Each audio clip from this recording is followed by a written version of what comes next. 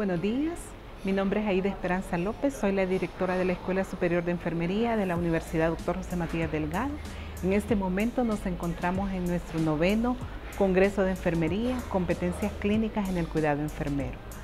Este momento reúne a 155 participantes entre estudiantes, docentes y profesionales de enfermería que están compartiendo e intercambiando conocimientos y prácticas para el adecuado cuidado enfermero en pacientes en unidades semicríticas y críticas.